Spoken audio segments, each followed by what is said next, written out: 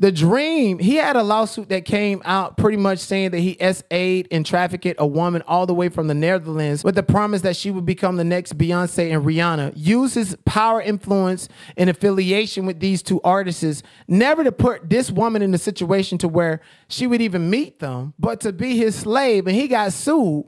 And very much like Diddy, he denied all the allegations. Please hit the like. Please hit the like. Greatly appreciate you guys producer known for his work writing hits for Beyonce, Justin Bieber, and many others, is sued by a singer claiming he physically and sexually assaulted her. I have the allegations from the lawsuit filed against The Dream and what he's saying about it. Thanks for joining me for Crime Fix. I'm Angenette Levy. This lawsuit filed against The Dream by singer Shawnee Monroe is like many others I've told you about recently. It's graphic and it contains a lot of detail and allegations of physical and sexual violence mm. against the dream. And I want to be clear these are allegations at this point. The claims have not been proven by singer Shanaz Mangro, who's known professionally as Shawnee Monroe. Dream is a famous singer, songwriter, and producer. He's written big hits for a number of famous artists, including Justin Bieber, Mariah Carey, Kanye West, Rihanna, and of course, Beyonce.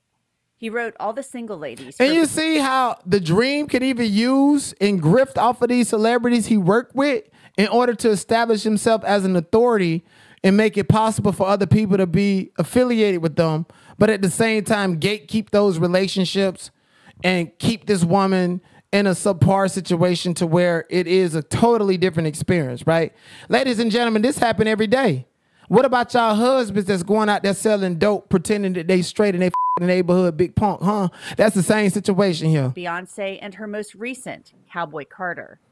Dream has been nominated for 21 Grammys, and he's won eight. He's kind of a big deal in the music industry. And that is how Shawnee Monroe claims she came to know him. Her lawsuit has the same trigger warning on it that others have had. It's right there on the first page.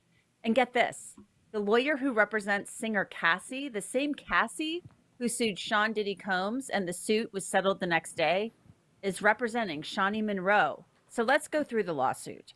The suit starts with a preliminary statement. It basically has a summary of the allegations, mm. and then it gets into some claims against The Dream and his record label, Contra Paris and Epic Records. The suit states his depraved behavior was facilitated by his record label, Contra Paris LLC, as well as by Epic Records the label Dream convinced to invest in Miss Mangro, Mm-mm. despite the fact that he never intended to truly support her career trajectory but instead wanted corporate funding to assist in his trafficking venture. And, and a lot of people look at Little Rod like he's filing frivolous lawsuits and stuff against Lucian Grainge and Universal Music Group. Now, in the Little Rod lawsuit, he didn't name any predicate acts or any nexus, meaning more than one, two, or any particular thing that connected Lucian Grainge, the money, to more than one instance. Had he been able to say Lucian Grainge was in Miami and then Lucian Grainge was in, Atlanta, uh, in LA or wherever else, those are two predicate acts on two different situations, and Lucy Lucian Grainge would not be able to be dismissed from the lawsuit because it's two predicate acts. Not saying that there is not another predicate act, but Little Rod was not able to establish it. So a lot of times when these record labels and executives are named in these lawsuits for racketeering, money laundering, which is a causation, which is a count, a claim under the racketeering law, they need to name it under more than one allegation. And for what I'm hearing is this young lady says that the ticket for her to go from Netherlands to Atlanta was purchased by Epic Records. And then Epic Records also brokered an agreement and gave the Dream and his partner money on behalf of her. Those are two predicate acts. So Epic Records would not be able to escape a lawsuit under the RICO uh, trafficking and stuff because of those two. So that is the distinctive difference between this lawsuit and what Larot said. Suit says Dream told her that he would make her the next Beyonce and Rihanna. The suit continues.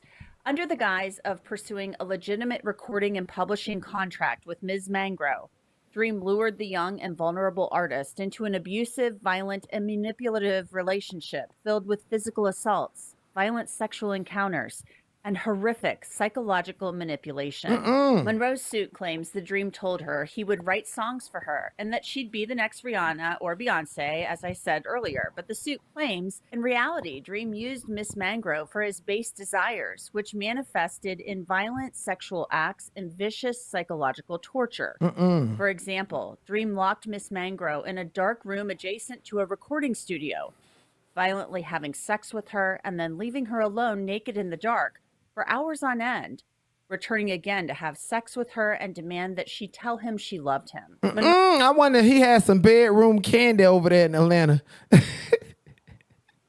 Rose says the dream promised her she'd open for Beyonce's upcoming tour and that he forced her to diet and exercise excessively to get prepared for it. But of course, that never happened. According to the suit, this all started back in 2014. Monroe was just 23 years old and working here in the United States on an international visa from the Netherlands. Mm. She was hoping to get her big break as a singer and songwriter. One day, Monroe claims she got a message on Instagram from a member of the Dream's security team asking that she send some of her work to share with Dream's manager. In January 2015, Monroe says Dream and his team flew her to Atlanta. The suit claims Monroe recorded some tracks in his studio for a song. Quote, during the recording session, Ms. Mangro recorded a verse for the song Transparent, which was supposed to be part of Dream's forthcoming two part EP, Crown Jewel. While the official release of Crown Jewel was delayed, the song eventually leaked online. Dream failed to give any credit or compensation to Ms. Mangro for her vocals. Then she claims she was taken to a basketball game and a strip club she was given large stacks of cash to throw at the strippers. Then one of the dancers, she claims, came over to her and laid on top of her, which she said made her uncomfortable. The next day, Monroe's suit says the dream texted her, which signaled to her that she had passed his test. At the end of the trip, Monroe says Dream told her he wanted to sign her to his label, which made her feel like all of her hard work had finally paid off. The suit claims that Dream used his success with Beyonce and Rihanna to manipulate her. It says he said Ms. Mangro needed to, quote, belong to him so they could become the next Bey and Jay, in reference to Beyonce and Jay Z. Quote, Dream knew how much Ms. Mangro loved and admired Beyonce as an artist. He regularly used Ms. Mangro's admiration for Beyonce as a way to manipulate Ms. Mangro telling her that the only reason he achieved such great success with Beyonce is because they created a sanctuary together, which allowed him to know Beyonce in a way that others could not. Mm-mm. And consequently, he could. I want to know what sanctuary you can create it with Beyonce. Was y'all burning candles, lights? Were you taking them records to the shrine and putting MK Ultra message, demon possess? What was you doing behind the music? And they say that Dream knew that Beyonce was pregnant before Jay Z did. Don't tell me he might be the daddy. Y'all know what he did to Nivea. Him and Mystikal did the same thing to Nivea he did to this girl right here. And that killed Nivea's career. Write the best songs for her. The suit continues, claiming Dream explained that a sanctuary was even stronger than a spousal connection because it was about art. Being part of a sanctuary with Dream meant that Ms. Mangro was required to disclose all of her secrets and thoughts and become trust partners with him. He said that his relationship with Beyonce was so close that he knew about Beyonce's pregnancy before her husband, Jay Z. You finna, uh uh. I wonder if Jay Z knows. Jay Z, you can't be a man if you sit there and not question those allegations. It's bad enough Kanye West made you look like oh, it's about here, but he talking about your woman's. Uh, he playing underneath your woman's clothes.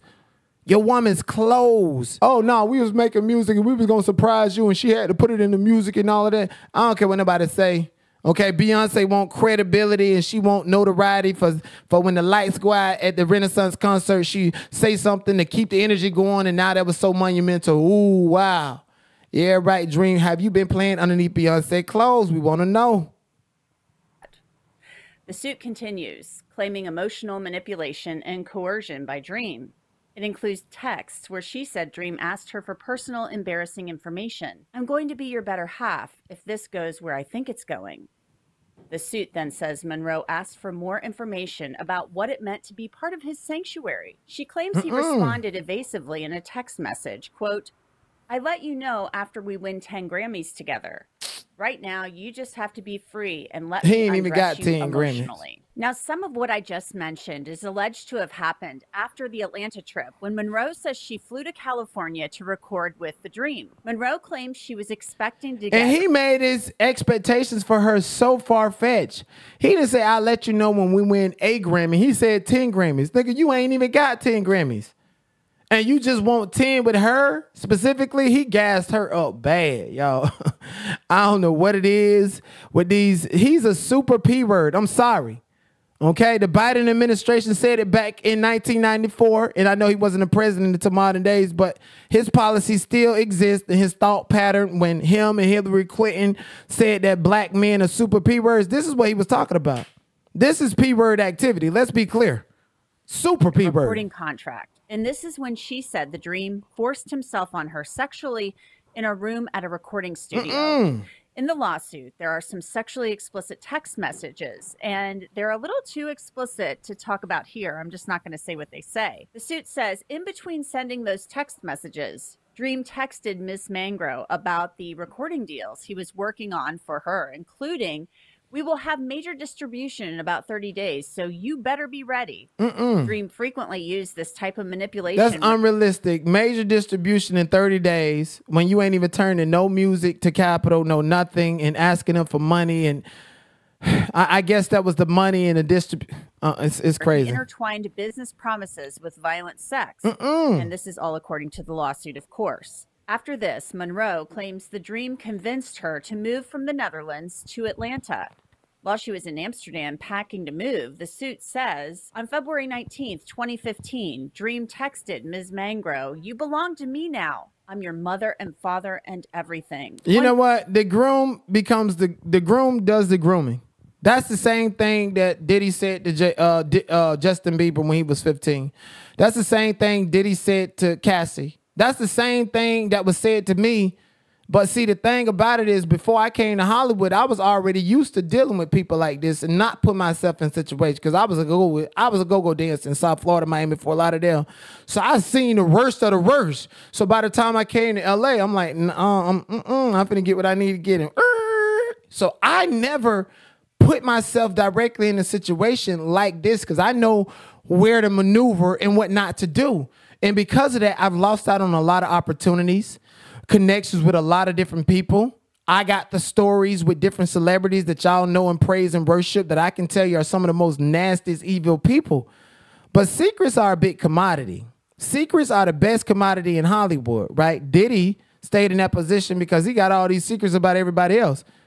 So I'm gonna use my secrets to bargain and negotiate for opportunity because I know how to avoid this and can't nobody say that I'm a victim of theirs at all. Once in Atlanta, Monroe claims she was kept in a residence inn and basically isolated, with the dream coming to her room whenever he wanted to. She claims she had to beg to go to the mm, mm, mm, recording studio. When she asked the dream if she could go to the studio, he would chastise her and call her a brat. He would tell her that she had to stop thinking about only herself, that we, he was an important producer who was working with a lot of important people, and that he did not have time for her, quote, nagging. And never not once did he put her in the studio next to uh engineer, next to Beyonce, next to Rihanna. Never not once. Uh Rihanna, they say she can't sing. Never not once did he put her in a situation to do the backup vocals for Rihanna to move and maneuver from there. Never not once. I mean, people get contracts, people get deals, and people get clout. Like uh, the girl D Woods, the reason she was chosen to be a part of Danity Kane is because she came with a previous resume. We didn't know who she was, but she was singing background vocals for Ciara. So you mean to tell me this girl singing background vocals for Rihanna, she's not gonna take off? I mean, for God's sake, we all black people that is love Bebe Rexha when we found out that she sung the background vocals for Rihanna during Monster, and I was like, oh, so I love her, right? So never, not once did he ever want her to win. about getting into the studio. The suit continues. It was not at all what Ms. Mangro expected after being in the studio nonstop during her first visit to Atlanta and Los Angeles. Everything felt different once she And everything that this lady is saying, Dream did to Nivea, okay? But the thing is, Lil Wayne kind of allegedly groomed Nivea for that to happen. Then with Mystikal, it, it, excuse me, it was Mystikal, and Mystikal allegedly groomed Nivea for that. The same Negro that unalived his allegedly unalived his sister um, for record deals for money. The same Negro that's been charged and waiting to go to trial for SA and battery, holding a hairstylist account uh, uh, hostage. They're saying that Nivea always was scared. That's why when you see the video for Danger been so long, the only portion of the video she's in is on the stage with a whole bunch of people. The the the beauty scenes and the intimacy scenes, Nivea refused to do that with Mystikal because he had basically allegedly already SA'd her and coerced her to be in this situation. Now this girl was around Dream connected to Beyonce and Rihanna for years, and, and we didn't know nothing about her until this lawsuit. So what do you think the dream did to Nivea? That she was uh, that was already happening to her allegedly, right? See, I'm the type of nigga because I was the go-go dancer before I got to Hollywood. I'm the type of nigga that'll take their motherfucking wallet, smooth them, take all their motherfucking money, talk shit to them, and tell them to go to the ATM and come back when you have some more, or don't talk to me. to living in Atlanta and was under Dream's complete control. In May 2015, Monroe described sexual assaults she claims she endured at the hands of the Dream. In one instance, she said she was taken to a movie theater where another man was present and forced to have sex in front of him. Mm-mm. In another, Monroe described an assault in a van. Once in the van, Dream locked the doors and pushed Ms. Mangro into the dark back area of the van. He pinned her on the mattress in the van, took off her clothes, and started forcibly having sex with her. Monroe says that the dream choked her, telling her, You're mine. At times, her mouth and nose were covered and she couldn't breathe. Mm-mm. After this, Monroe said she signed a record deal with Contra Paris. And it's like, this is crazy. The only, I mean, you know, being in the LGBT, I'm bisexual, right? I don't, I can never do to women what I do to men. I just would not feel the same way. So he, the way he doing her, he might as well hit some poppers or something. That's the only way that that shit sounds sexy. You hit some goddamn pockets and get that bitch inebriated. But they say that pink cocaine been flowing around Hollywood. Dream probably had that girl on pink cocaine. Epic Records. She says she got $35,000 as an advance for all of the work she had done for the prior five months, while the Dream and one of his friends got $150,000 each. I want to take a short break from telling you about this. Nah, lawsuit. we good. We good on this ad, Primo. We good on this. Let's get back to the lawsuit. Fortune, stardom, and then she ends up with absolutely nothing. Yeah, it was definitely a compelling complaint that I read. She provides a lot of details on the sexual battery, the sexual assault, and obviously the the trafficking trafficking aspect of it. She was a resident of the Netherlands when um, the dream allegedly first reached out to her, and she Stardom, moved to the U.S. Then- in order to pursue this musical dream that seemed to turn into what many would consider to be a nightmare. Yeah, her allegations certainly do sound like a nightmare, and at these this point, they are simply allegations. Uh, what I found interesting about this, and maybe So sweetheart, I don't believe them. Them, them are factual allegations. I think it's important for law and crime, any person, the lead attorney to understand the difference between factual allegations and allegations. And allegations is upon information and belief, this person said this and this person said that. And now it's a factual allegation until it's proven because now you need to call that person who said whatever else to substantiate that and make it and convert it into a fact. But he flew her from the Netherlands using Epic Records money. That is a fact. That is a fact to be proven. He to be proven based upon the receipts. The way it's shaped, the way it reads, is that I have the receipts to prove this. It doesn't say upon information and belief. I ain't seen nothing that said upon information and belief in that lawsuit. These are factual allegations. So a Rule 12B motion is not going to substantiate because essentially a Rule 12B motion says, so what? I admit that everything in this lawsuit is true, but I don't deserve to be held accountable based on this. This is how Lucian Grainge and Universal get out of the Little Rod lawsuit because they could not name and, and plead at least two times when there was an a, a, a SA party and, and, an exchange of money for these parties where Lucian Grainge and Universal representatives were actually present. He was better off suing Christine, Diddy's chief of staff. He didn't, you know, that's why she's not dismissed from the lawsuit. But to each his own. So I just wanted to point that out. She just reached out uh, to Douglas Wigdor, but Douglas Wigdor and his firm, they're the same lawyers who represent who represent Cassie. Um, represented her in her lawsuit against Sean Combs, are cu- currently representing her as she cooperates with the feds. What does that signal to you that Douglas Wigdor took this complaint or took her on as a client? Does that give this complaint any more weight? Yeah, I think that it is an interesting fact that she is using the same lawyers that a number of other individuals who are su- suing some high profile celebrities um, have also used.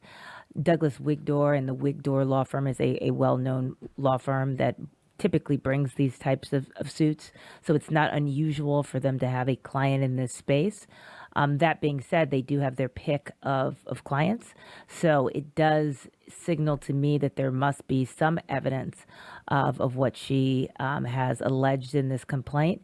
But it also um, indicates to me that she did her homework um, and Yeah. is aware of perhaps some of the other claims that are out there right now and has figured out which lawyers they are using. Now, I've been referring to her just by her professional name. Um, obviously, she has her legal name, um, but Shawnee Monroe. Uh, you know, she claims that she got involved with the dream. She had this, she had this desire to to be the next Beyonce, and he told her he could make that happen for her. According to everything she's saying, she finally gets a record deal. She gets a thirty-five thousand dollar advance, which sounds absurd to me when the dream and one of his cohorts got $150,000 each. She says she's, uh, you know, taken back to Atlanta. She's in the studio ever so often. She's having to like buy um, the crew champagne and cupcakes, and she has to do all these lavish things where she has like no budget to do this.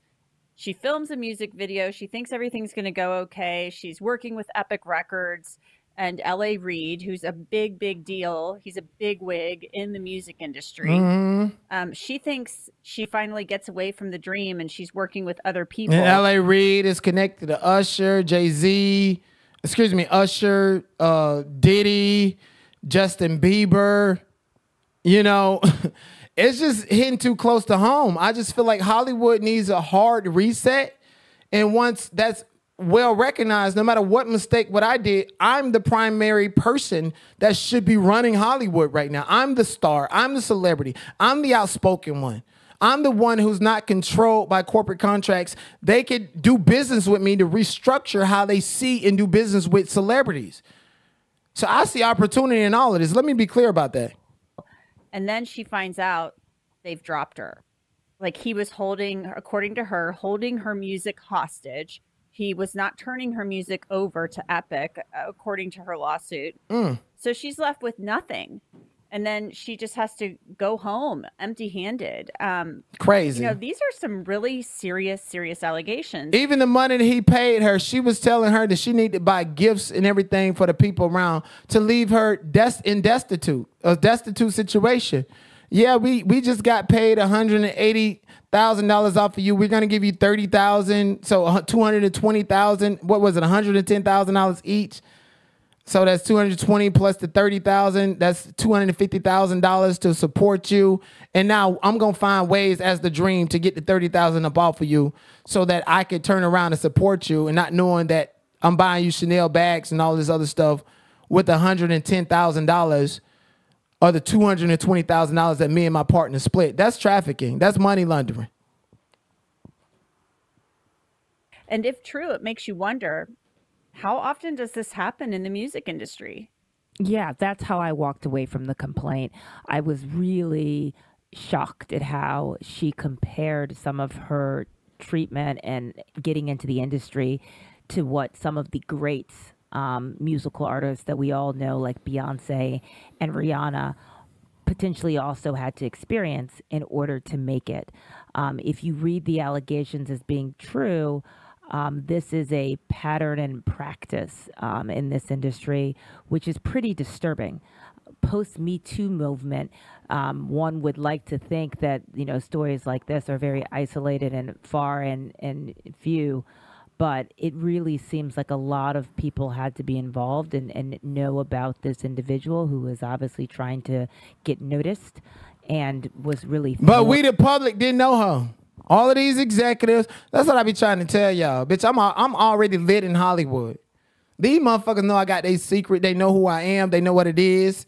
And when I roll up on them, bitch, I, what's up? What's good? I need. I'm a different person. But I swear to God, people be in Hollywood for years before y'all know who they are. I'm younger than Denzel Washington before he broke out. And I got a resume that's greater than Denzel Washington by the time he broke out. So I still feel hopeful and aspirational. Maybe it wasn't supposed to happen when I was a heart thrive, even though I'm still a heart thrive. You know what I'm saying? supported by a lot of the male figures that controlled um, who was actually played and what music was actually rights were given to them. Um, it's, it, it was it was very disturbing and, and, and sad to read. And obviously, these are only allegations, and and Dream is is vehemently denied. Of um, course. all of this, but. Um, considering her plight and, and, and where things are, and the fact that she's brought this complaint, it'll it'll be interesting to see how the facts play out here. Of course, exactly. And I'm glad that this this is a very smart attorney. Um, you know, she said it'd be it, it would be interesting considering the fact how the facts play out here. She knows that everything that's pleaded in this complaint is a factual allegation. I didn't see upon information and belief, yada yada yada yada. When y'all see that in a lawsuit, that's code words for I, I can't prove it without this is my information and belief. I need to go in during the discovery phase to depose and ask questions to substantiate this paragraph in the lawsuit. that lawsuit was a, as a matter of fact, this happened, this happened, that happened, that happened.